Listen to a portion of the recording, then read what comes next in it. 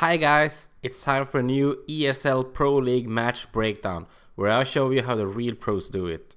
In today's video, I will show you how Playing Ducks set up their defense against Supremacy on the map Coastline and the objective Sunrise Bar and Blue Bar.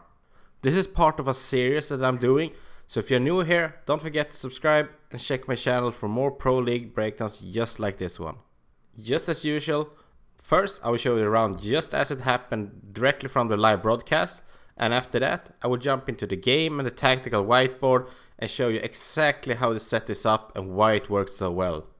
Now, Supremacy winning the site, which usually isn't won. Those double bars are going to be putting themselves in the lead here early on, one round on the board, and we are actually going to see Playing Ducks go to the same bomb site. What an interesting twitch, twist that both of these two teams like to defend double bar. It looks like we might still see this philosophy of closing off the courtyard. A little bit different than uh, the Latin American teams, but it, oh, look at that. So that actually is good. Oh, I love that. So that's, uh, instead of closing off the entire uh, floor, they're going to close off that just uh, Enough so to you the can't north, get an angle, yeah. but the, the little hole there is going to mean that if the attackers manage to push themselves into blue bar, they're going to still be able to, uh, if they're trying to plant behind blue bar covered from B bomb site, they'll still have the line of sight on them. I like that. Uh, like that little spot. Ooh, I also like this.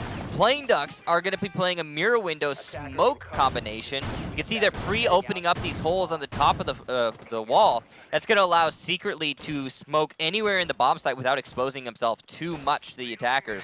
Love that strategy there, really turning the A bomb site into a little bit of a deathbed for the attackers as they move themselves in. We'll see how Supremacy choose to address this attack, though. Doesn't seem like they're focusing nearly as much, at least early on, uh, with those offices. Looks like it might be a top-down take, which is uh, similar, somewhat, to how we saw um, Playing Ducks attack the last last round. We are seeing Glaz get picked a little bit more today than we typically see out of the European scene through the past four weeks. I mean, we saw a Glaz Monty earlier on Border. We're seeing the Glaz here right now. It's typically we're expecting to see Blackbeards, are we not? Yeah, we do typically see Blackbeards, I mean, especially out in North America, but it does stand to reason. I mean, Glaz is still perfectly viable. Oh, looks like a C4 uh -oh. toss by BiBoo. By oh, BiBoo. no, he's actually underneath. He's above on top of some indestructible floor, I want to say. Oh, it actually hit the bar right there, and that saved him. What an unfortunate toss there by Lacky.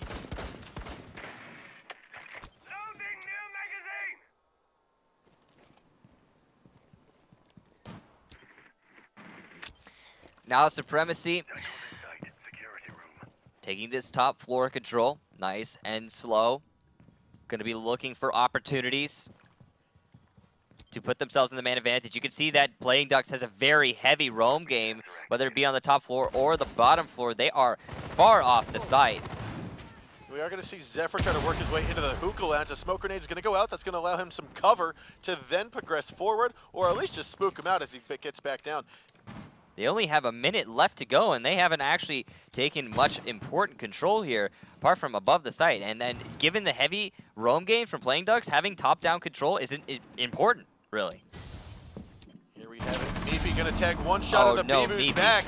Now, unfortunately, that's going to do a lot of damage to him. Secretly, though, gets removed by ZephiR. A five on four here.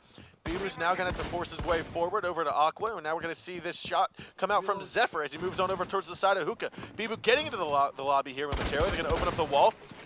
Lacky is going to be there ready for here some shots is. on the lobby hallway. This is this aggressive office take that we were we saw from Playing Ducks last round, but it's being executed in the last 30 seconds. Will it work oh, for Supremacy? This is, is going to work here for Lacky.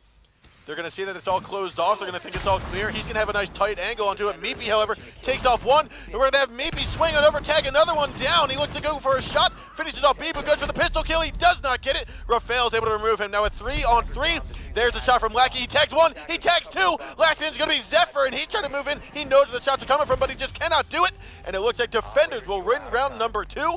That's going to be 1-1 at the moment. So, if we jump into the map and see how this defensive hold was set up. If you first look at the anchors, they had Smoke playing right here, and Mira is not available in the tactical whiteboard from Ubisoft, so she's this recruit icon. Then they had reinforced two walls and one wall here. They have a shield up on the bar counter here.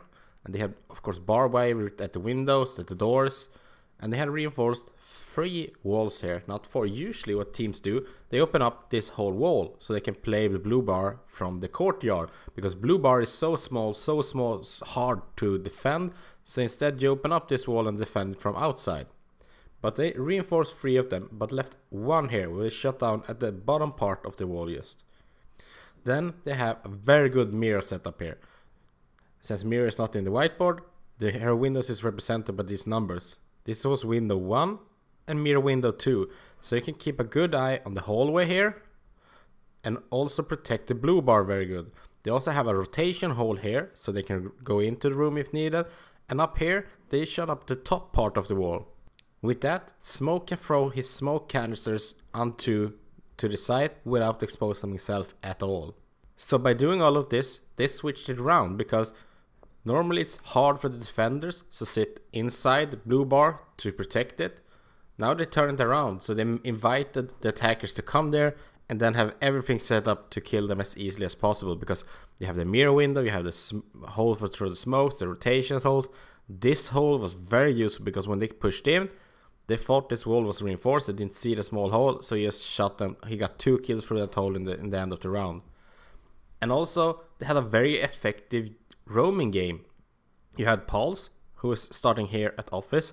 Very good spot because the attackers usually come in here through the aquarium. So he just get unlucky that the C4 got stuck right under the bar, so he didn't kill her. Otherwise, he would have killed Ash there. So that's a good starting position for Pulse. Then you also had Jaeger and Bandit who was playing. They were roaming, of course, but they were in the kitchen, in the bathroom.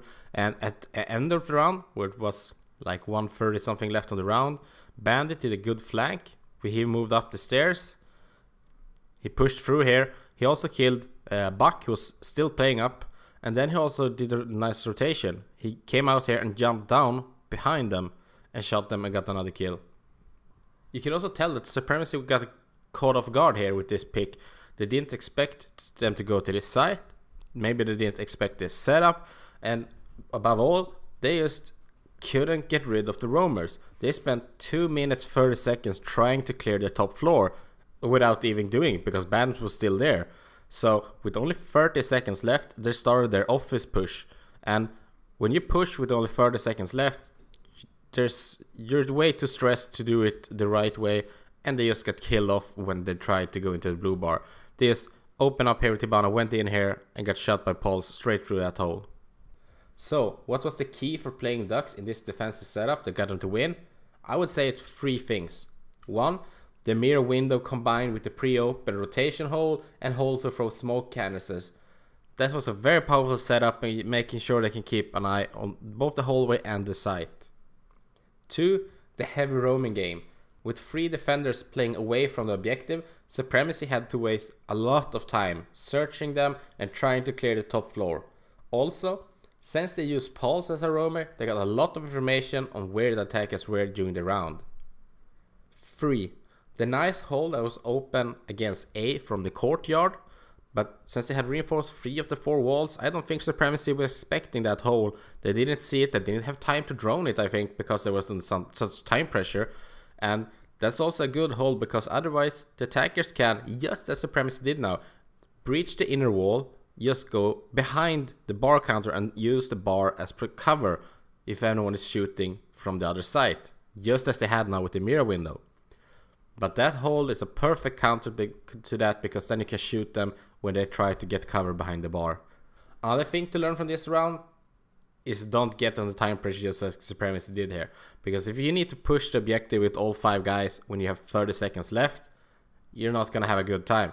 You need to do it earlier. You need to ramp up your tempo in the attack earlier so you're not forced to do that last second push because then you get sloppy, then you miss, for example, this hole that Pulse was laying in and just shooting off two of them.